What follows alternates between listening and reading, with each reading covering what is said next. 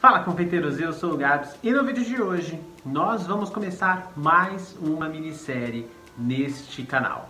Geralmente ao longo do ano nós temos três minisséries, uma lá no comecinho do ano, depois uma ali por maio e agora a última que vai pegar aqui setembro até outubro na nossa minissérie e depois entram já os vídeos do fim do ano e aí o nosso ano já praticamente acabou, gente. Eu não estou acreditando nisso. Mas o que importa é que dessa vez eu resolvi fazer uma minissérie um pouquinho diferente. Às vezes a gente faz uma minissérie onde a gente faz um bolo decorado do começo ao fim, e aí também tem a minissérie onde a gente faz uma modelagem do início ao fim, aí eu faço uma modelagem grande com vários detalhes. Dessa vez eu resolvi fazer uma minissérie de modelagem que a gente ainda não teve esse ano, só que em vez de a gente fazer uma modelagem do início ao fim, ao longo de seis episódios, a gente vai fazer uma modelagem por episódio. O tema dessa nossa minissérie é Disney. Então a cada episódio a gente vai fazer uma modelagem de um personagem, um bonequinho, uma princesa, enfim, alguém relacionado do universo Disney. Mas por que Disney, Gabriel? Primeiro porque eu gosto muito e segundo porque tem muita técnica pra gente explorar dentro do universo. A gente tem personagens de animais, a gente tem personagens fantasiosos, a gente tem personagens humanos, a gente tem personagens mais velhos, mais novos, homens, mulheres. Então eu pensei, por que não em cada é, episódio da nossa minissérie a gente fazer um rostinho, um personagem, um bonequinho do universo Disney para a gente poder explorar as diversas técnicas de modelagem que a gente pode utilizar em cada tipo de modelagem. Então é isso que a gente vai fazer nesse vídeo e ao longo de todos os próximos dessa minissérie. Eu espero que vocês gostem e vamos para a primeira modelagem dessa minissérie.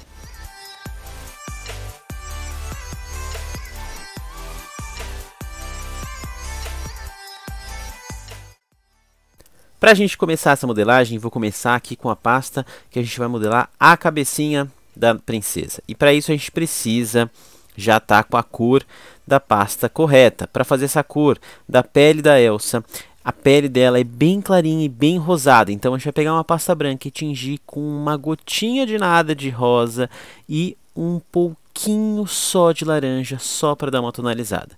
Essa pasta você pode colocar um pouquinho de CMC para ajudar na secagem, caso você queira.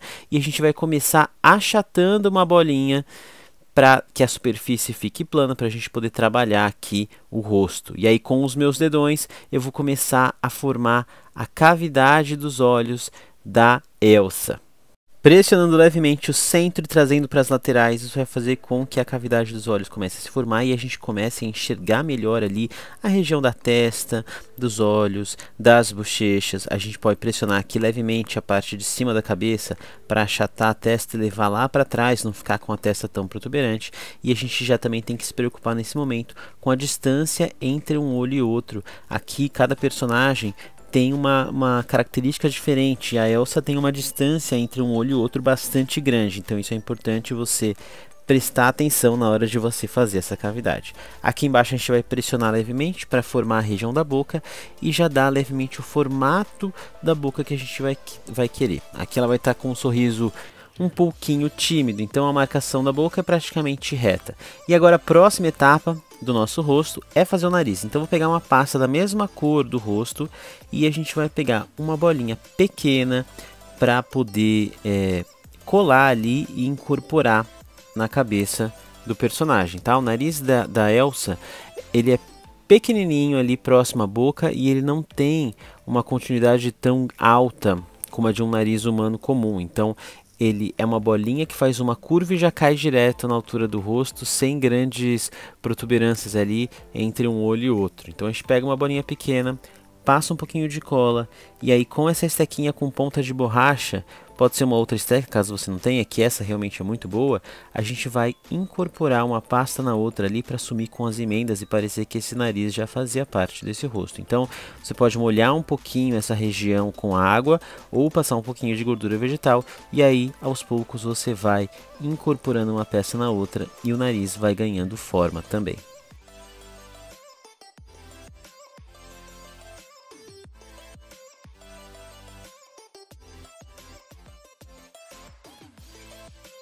Aqui olhando de lado você consegue ver o que eu quis dizer, né? É, o nariz ele é bem pequenininho e ele já logo cai na altura do rosto. Aí agora a gente vai fazer as narinas. Faz um, dois leves furinhos, um de cada lado. Isso já vai ajudar também a dar o acabamento aqui na parte de baixo do nariz. Lembrando que esse furo tem que ser feito de baixo para cima e não para dentro do rosto, né? Então você viu como eu coloquei a esteca assim de baixo e espetando dentro do nariz, subindo ali para fazer um leve furinho.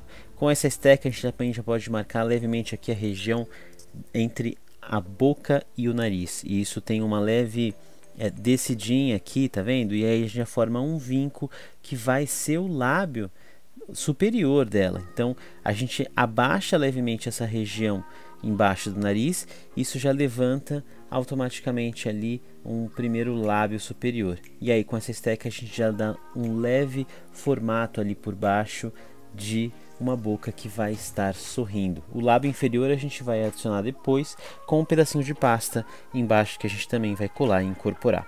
O importante aqui é você abaixar essa região que vem logo abaixo do nariz, subir um pouquinho essa região que vai ser o lábio e aí com essa esteca a gente vai dando o formatinho aqui, essa parte de baixo do lábio superior. A gente pressionou levemente para criar uma cavidade, já levantou os cantos para aparecer um sorriso e agora a gente vai adicionar um outro pedacinho de pasta da mesma cor da pele e vai fazer o lábio inferior. Então uma bolinha, a gente abre uma cobrinha fininha, não precisa ser tão comprida porque a boca dela é bem estreitinha, então vou cortar aqui os excessos e a gente vai colar, adicionar essa peça ali embaixo da, do primeiro lábio ali, passar um pouquinho de gel ou água, cola essa peça ali e aí com a esteca a gente vai moldar, modelar isso direitinho. Tá? Agora não fica tão visível, mas a gente vai pintar esse lábio dela e aí vai dar o efeito que a gente quer. Tá vendo? O lábiozinho inferior ali.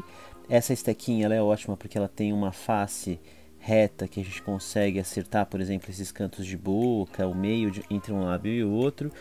E você pode reparar agora que essa peça está bem gordinha aqui embaixo. Então a gente vai recortar esses excessos com o estilete para dar forma ao rosto do personagem. Isso é uma coisa que você sempre pode fazer depois que você termina de modelar o rosto e colocar nariz, colocar boca. E aí você percebe se ele está é, uma papada muito grande, se está com o formato correto, e aí você pode recortar essas, esse excesso de pasta e aí então com os dedos você pode alisar para tirar a marca do corte do, da pasta americana. Quando você faz o corte, ela fica reta, fica marcada, então com o dedo você consegue retirar, tá? Como o personagem da Elsa tem um rosto é, com um formato bastante peculiar, ela tem uma boca bem pequena, os olhos bem grandes, a gente tem que ir acertando isso. Então recortei essa parte de baixo para ela não ficar muito gordinha, ajeitei ali a região dos olhos para aumentar um pouquinho a região da bochecha aqui dela, e aí a gente consegue acertar o formato do rosto antes da gente começar a fazer os detalhes que já não mais tem a ver com a fisionomia do rosto e sim com a aplicação do olho, pupila, sobrancelha e tudo mais. Então, ao longo da modelagem você sempre pode ir mexendo nesses, nesses, nesses detalhes do rosto, tamanho da testa, é, cavidade do olho, para você ir acertando sempre de acordo com a referência original do personagem.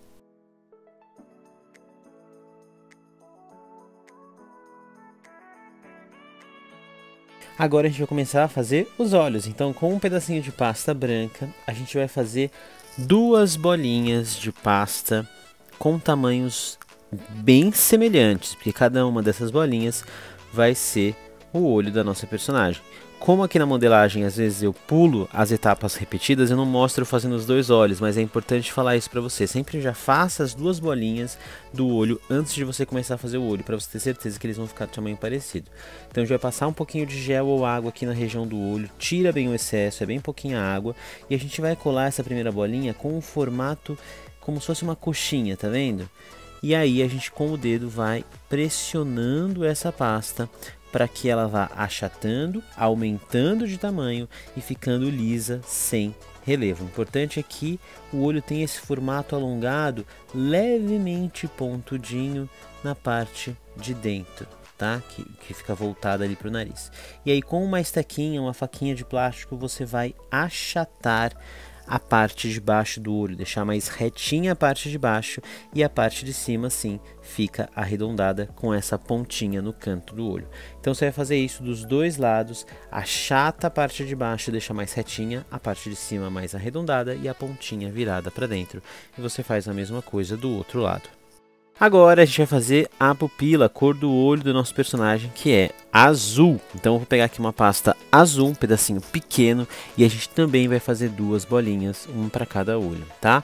Essa bolinha, ela vai ser aplicada redondinha mesmo, não vai ter um formato diferente, com a parte branca, e a gente vai aplicar elas voltadas mais para cima do que para baixo. Então a gente vai colar essa bolinha de forma que ela encoste na parte de cima do olho e deixe sobrando parte branca embaixo, tá? Isso é uma obrigatoriedade? Não, é algo que você vai definir na hora de definir para onde a sua, o seu personagem está olhando, tá? Que eu vou fazer nessa posição. O importante é você sempre seguir é, a posição para os dois olhos no mesmo lugar para não parecer que o personagem está vesgo, a não ser que seja um personagem vesgo mesmo, aí você pode deixar em posições diferentes. Então aqui eu coloquei ele virado um pouquinho para cima, deixando parte branca sobrando embaixo. Faz isso dos dois lados, é, espalha bem a pasta para ela não ficar com muito relevo e ficar maiorzinha e as duas do mesmo tamanho. E agora a gente vai fazer a mesma coisa, só que com uma pasta preta. Essa bolinha preta vai ser menor, porque ela tem que caber lá dentro do azul e ela vai ser colada também no centro da bolinha azul, uma em cada lado. Passa uma gotinha de nada de água ou de gel e a gente faz a colagem dessa pupilazinha preta.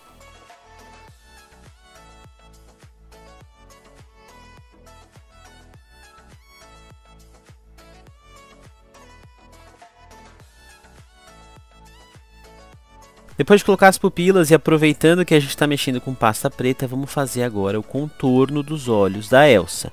E a gente vai fazer um contorno em preto, um delineado preto, porque ela tem uma maquiagem bastante presente. Então, com um pedaço de pasta preta, eu vou abrir uma cobrinha bem fininha, com um dos lados bem afinados. A gente vai passar um pouquinho de água em volta do olho dela e aí a gente vai aplicar essa cobrinha ao redor do olho, começando com a parte mais fininha ali perto do nariz e dando a volta no olho todo, a parte um pouquinho mais grossa fica no final do olho. A gente vai cortar esse excesso, ela não tem um, um delineado de gatinho, né? O delineado acaba onde acaba o olho, a gente vai cortar esse excesso e na parte de baixo a gente vai colocar uma tirinha mais fininha ainda, em preto também, só que só vai pegar do meio para o canto do olho. Então vou afinar aqui uma outra, um outro pedaço de pasta, só um pedacinho bem pequeno e de preferência mais fino. Essas etapas são importantes para dar é, característica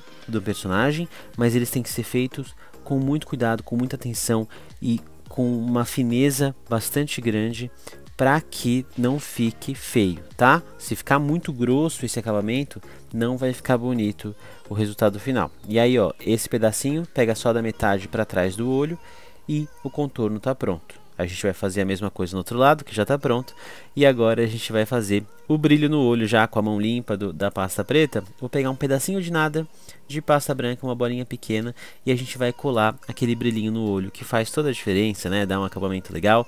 Lembrando que eles também têm que estar sempre voltados para a mesma direção. Você escolhe onde vai ser o brilho no olho e cola os dois voltados para a mesma direção tá? E aí, ó, olha como você colocando esse brilho no olho já dá uma diferença legal aí no acabamento, tá? A maquiagem da Elsa ainda tem cílios, ainda tem uma sombra, mas isso a gente vai fazer na última etapa da nossa modelagem, que é a pintura. Então agora que a gente já finalizou o que a gente tinha para fazer no olho, a gente vai fazer a sobrancelha da Elsa, tá? Que também é o mesmo esquema que a gente fez o delineado preto, abrindo tirinhas, só que com uma pasta numa tonalidade loira escuro é, que é o tom da sobrancelha dela. Então a gente vai abrir um pedacinho dessa, dessa pasta na palma da mão, lembrando de deixar um lado mais afinado e um outro mais grossinho para fazer a sobrancelha. A sobrancelha vai ser um pouquinho mais grossa que o delineado da, do olho, mas não tão grossa assim, tá? Cortei o excesso ali e agora a gente vai passar água na região onde a gente vai colar essa sobrancelha, mais ou menos ali no formato que a gente quer. Vamos pegar essa peça aplicar ali no local, deixando a parte mais grossa para dentro e a parte mais fina para fora. E aí a gente vai com a estequinha e com o dedo ajeitando a posição da sobrancelha que a gente quer. Importante dizer que a sobrancelha é o que vai ajudar a dar expressão para o rosto do seu personagem. Então, se quer, se quer que ele fique mais triste, a posição da sobrancelha vai te dar isso. Quer que ele fique mais assustado, a posição da sobrancelha vai te dar isso desconfiado, feliz, bravo, a sobrancelha vai ajudar muito nisso. Então a posição da sobrancelha é opcional dependendo da expressão que você quer que seu personagem esteja naquele momento. Então você pode escolher. Aqui a gente vai fazer o mais neutro possível. Ela está levemente esboçando um sorriso, aquele olhar de Elsa que é feliz, porém levemente desconfiado. Então a sobrancelha ela não tem grandes é, diferenças de posição e uma vai estar tá começando um pouquinho mais alta, uma dobradinha no fundo e a outra vai estar um pouquinho mais fechada para dentro, com aquela levantadinha assim, que é a que a gente está colocando agora, e aquela dobradinha no final também. Não tem segredo, isso você pode também escolher o formato que você quer.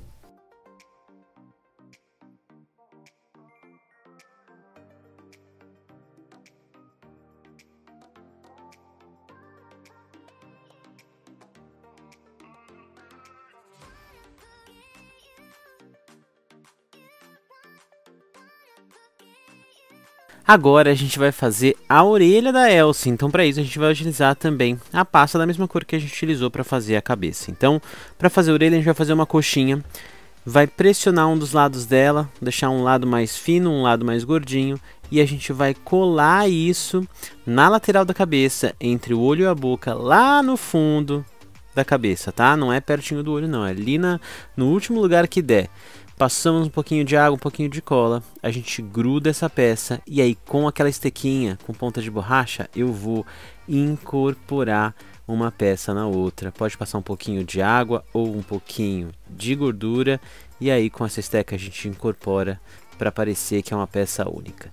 E aí com as costas da minha esteca eu vou fazer as cavidades. Então com movimentos arredondados eu vou fazer uma cavidade dentro da orelha descendo de cima para baixo e deixando um leve calombinho ali no meio para dar essa impressão das, das nuances e, e, movimentos que a orelha tem. Basicamente, para fazer a orelha da Elsa, é isso que a gente vai fazer. A gente vai fazer a mesma coisa do outro lado. A gente faz a orelha porque ela parece um pouquinho, mas o cabelo cobre um pouco, então a gente não vai se preocupar em grandes detalhes nessa parte da orelha.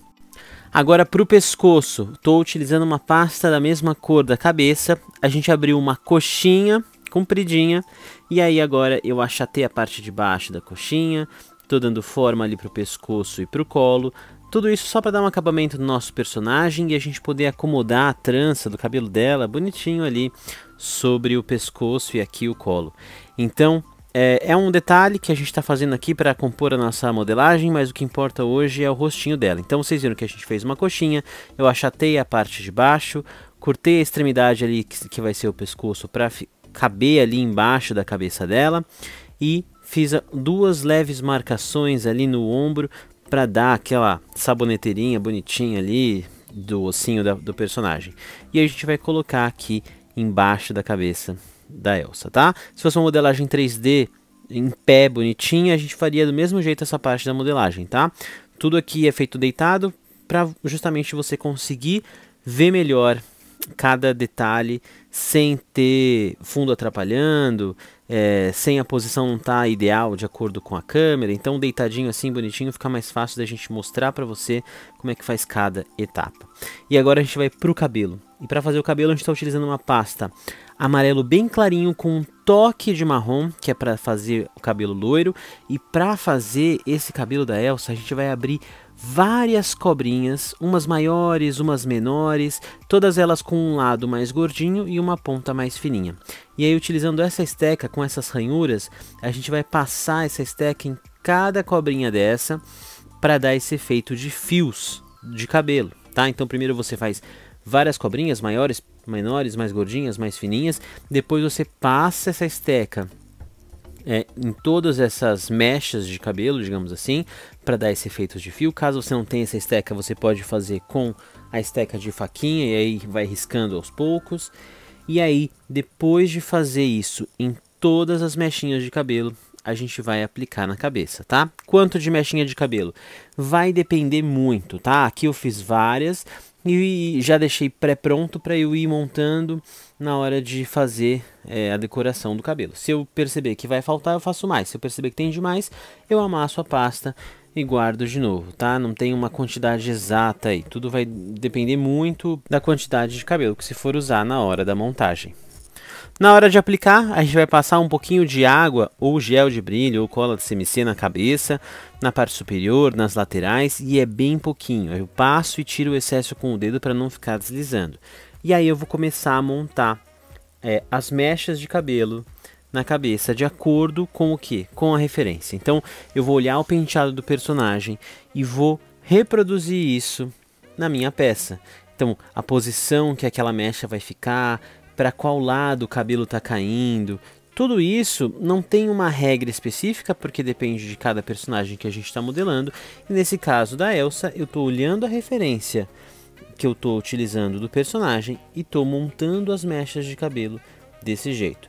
Como o cabelo da Elsa tem uns gomos e umas mechas de cabelo muito bem definidos jogado para um determinado lado da cabeça, essa é a melhor maneira da gente reproduzir o cabelo dela fazendo essas várias mechas em formatos alongados. E aí a gente vai colando, sobrepondo isso para dar o efeito que a gente quer. Lembrando, ó, que eu estou fazendo aqui agora é apertando e dando a impressão de que esse cabelo realmente sai da cabeça dela. Ali com a estequinha eu vou e reforço essa marcação de fios, dou continuidade ao longo da peça. Isso tudo a gente vai é, são detalhes que a gente vai fazendo na hora da montagem também para dar mais veracidade à peça e deixar com um acabamento melhor também.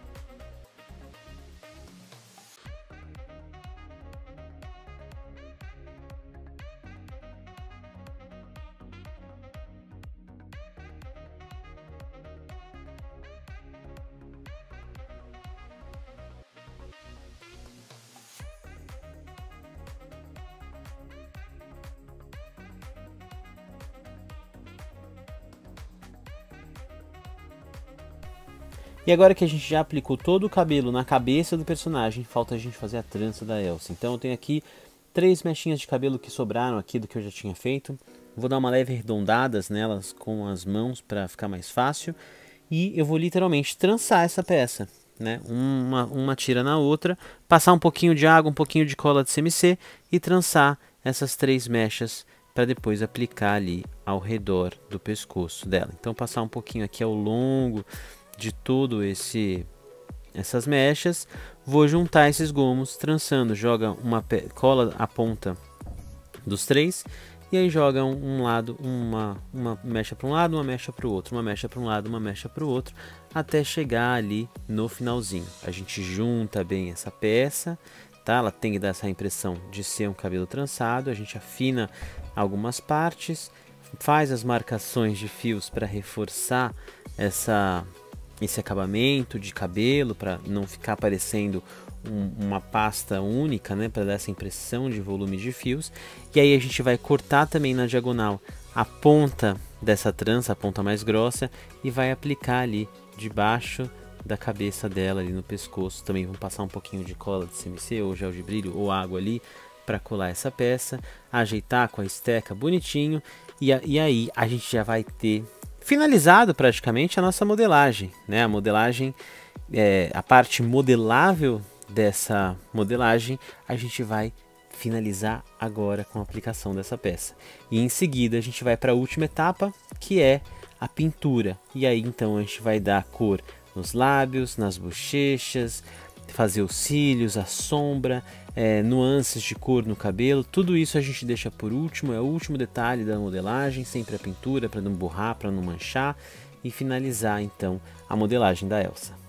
Para começar a pintura, a gente vai dar início fazendo a pintura da bochecha. Então, com corante rosa em pó, lipossolúvel da Liquend, eu vou sujar a pontinha do meu pincel a seco e a gente vai esfregar aos poucos nas bochechas e no nariz da modelagem, tá? E aí você pode até com o dedo ir é, espalhando e borrando para que essa pintura fique levemente é, aparecendo ali, deixando a bochecha do personagem corado, o nariz também. Ela tem um rostinho com a bochechinha bem avermelhada, mas isso é sutil. Se você for com muito corante, você vai acabar é, manchando muito o rosto do personagem. Não é isso que a gente quer. São manchas, são detalhes sutis que vão dar aí como se fosse uma maquiagem mesmo para o personagem deixar a bochecha dele na bochecha da Elsa mais rosadinha. A gente vai fazer isso nas duas bochechas e também no nariz para dar essa, esse efeito. Esse mesmo rosa a gente vai passar também um pouquinho na orelha, um pouquinho no pescoço, como se fosse um sombreado, só que com a tonalidade rosa, que é a tonalidade que prevalece nas partes mais, mais escuras e coradas do rosto e do pescoço dela. E é também o mesmo rosa que a gente vai passar sobre o olho ali como sombra, tá? Então pode ver que eu quase nunca molho o pincel lá no corante de novo. É sempre um restinho de tinta que a gente vai espalhando aos poucos para não carregar é, na cor. E aí a gente passa isso, como eu disse, sobre o olho, nas bochechas, no nariz, um pouquinho na orelha, um pouquinho no pescoço também, para dar o detalhe que a gente quer.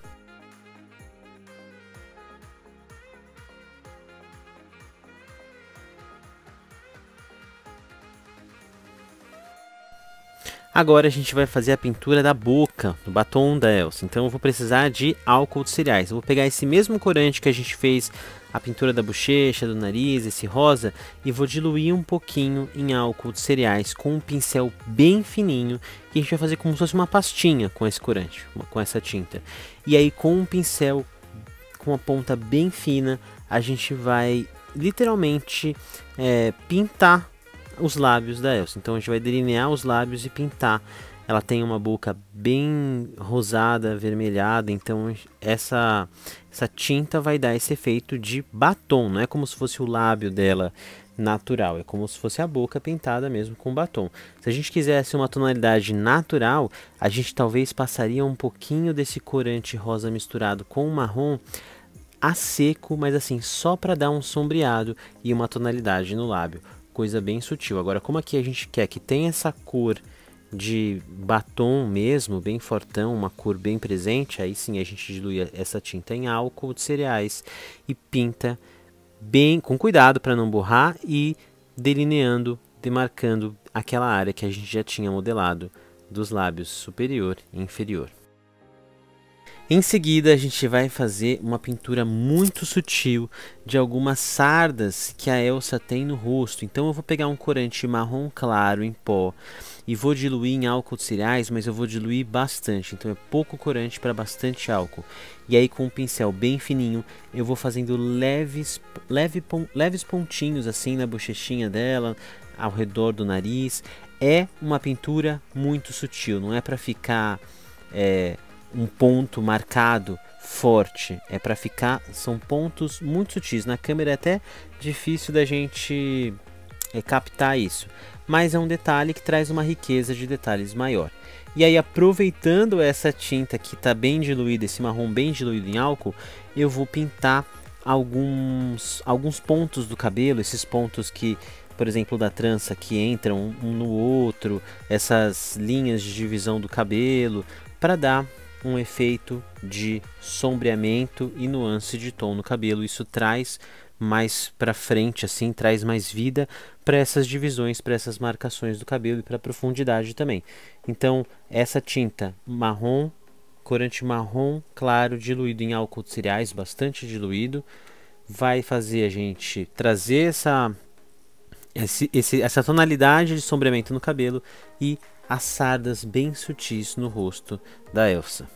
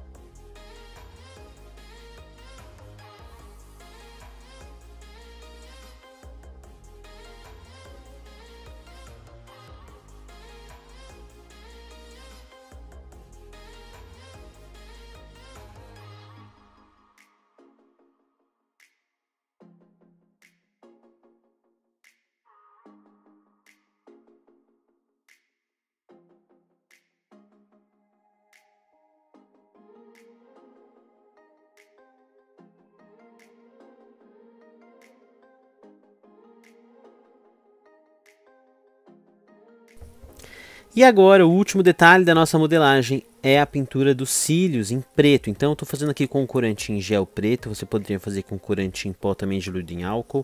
E a gente vai fazer os cílios da Elsa, que vão finalizar e dar acabamento para essa modelagem. Então, os cílios vão da metade do olho para trás e vão aumentando de tamanho de acordo com é, a chegada deles no cantinho do olho. Então, eles são mais curtinhos ali no meio do olho mais compridinhos ali no canto do olho.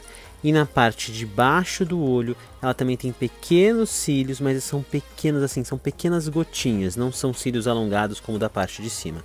E isso vai dar o acabamento e a finalização, toque final da nossa modelagem. Olha a diferença de um olho para o outro.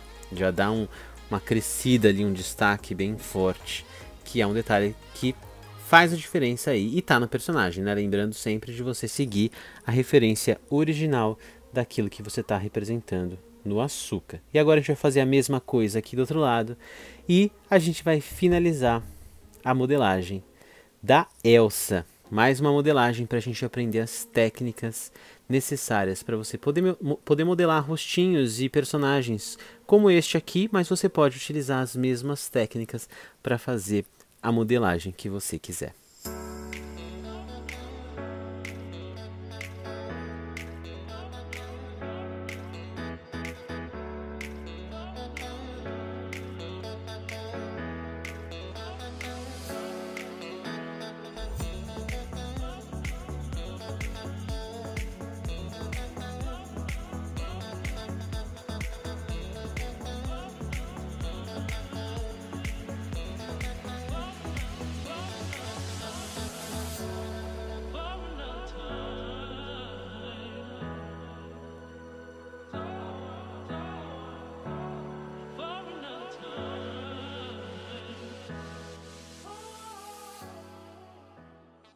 Se você gostou desse vídeo, dá um like aqui embaixo, se inscreve nesse canal e compartilha este vídeo e este canal com quem você sabe que pode gostar desse tipo de conteúdo que eu faço aqui no YouTube.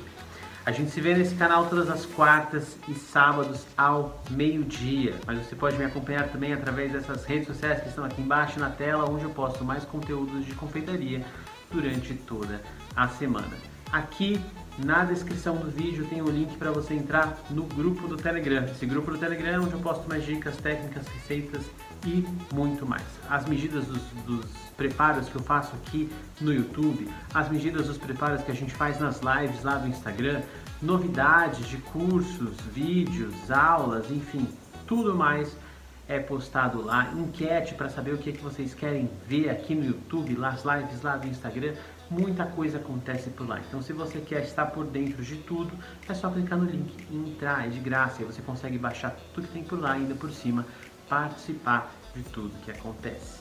A gente se vê no próximo vídeo. Um beijo para todo mundo e até lá.